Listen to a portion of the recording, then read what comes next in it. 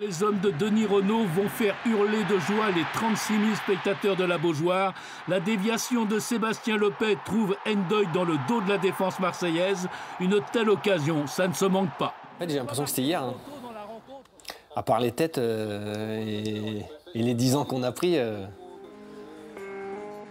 bah, là, il se passe qu'on sort Marseille. Quoi. Et Marseille, c'est quand même dans le top au niveau, au niveau médiatisation, au niveau renommée, c'est dans le top 3 français. Donc euh, on, vient, on, vient, de faire, euh, on vient de faire un truc énorme euh, sans s'en rendre compte parce qu'au-delà de passer en quart finale, on bat Marseille. Les médias diront même à l'époque que c'est le coup du siècle. Après avoir éliminé Nancy, Carquefou, petit club de CFA2, s'offre le géant marseillais. Mais la loi du sport peut être dure, très dure. Sébastien Lepay le sait parfaitement. Au tour suivant, l'ogre parisien met fin à l'épopée carquefolienne, l'épilogue d'une aventure inoubliable. Le but qui met fin au rêve carquefolien. Si tu devais garder une image de cette aventure, ce serait laquelle? Moi, c'est le but que je marque contre Nancy parce que je marque jamais en fait. C'est la 117e. Euh, je suis, je suis épuisé et, même au moment où je frappe, j'ai l'impression que je vais la mettre au-dessus et puis elle va dans le but. Quoi. Il, y a, il y a une émotion, il y a, il y a une intensité qu'on retrouve euh, pas en fait. Euh, et, quand on le vit, on se dit, waouh, c'est énorme quoi.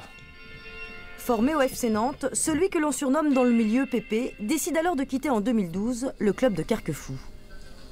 J'ai arrêté à 31 ans, on va dire d'être professionnel euh, avant qu'on me dise d'arrêter. J'ai arrêté en amateur avant qu'on me dise d'arrêter. Et, euh, parce que je voulais que ce soit moi qui prenne la décision et je voulais pas avoir des regrets, de regrets. Donc c'est comme ça que ça s'est fait. Il se consacre alors à son nouveau travail. Commercial, il se lance dans la vente de vêtements, un métier de contact, ce qu'il aime avant tout. Mais son passé le rattrape souvent.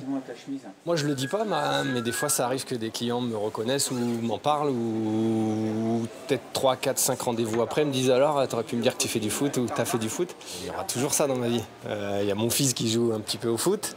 Euh, du coup, je, suis coordinateur technique à Carquefou. Je joue encore un petit peu en loisir avec les, copains. Donc, euh, Ouais, ça fait partie de ma vie, ça fera toujours partie de ma vie.